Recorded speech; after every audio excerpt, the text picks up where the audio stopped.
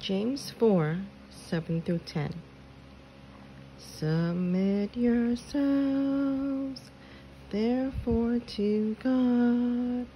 Resist the devil, and he will flee from you. Draw nigh to God, and he will draw nigh to you. Draw nigh to God, and he will draw nigh to you.